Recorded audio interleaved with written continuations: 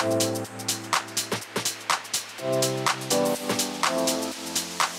onto this, Ayew and Schluffer chasing, but he's striding forwards here. Declan Rice sets it up for Lanzini,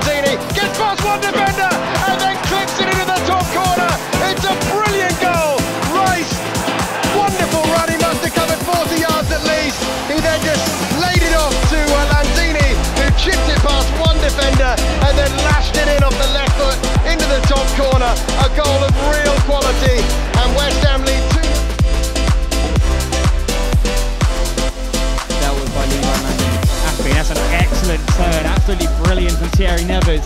Now he breaks away, tries to find a pass into a Sonny Perkins, and he finds the top left-hand corner.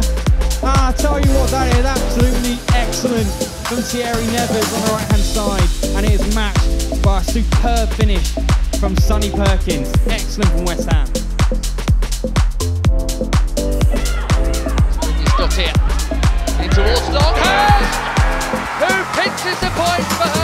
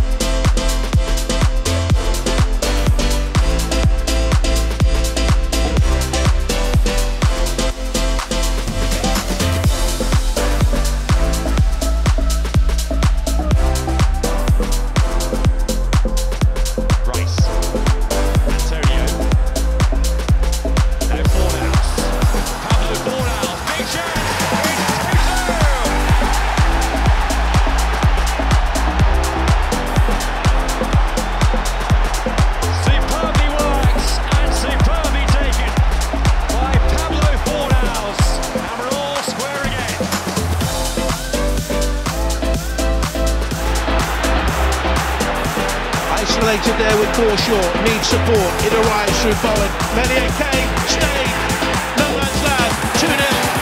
Bowen has put West Ham United through to round four of the FA Cup. Yet again, their run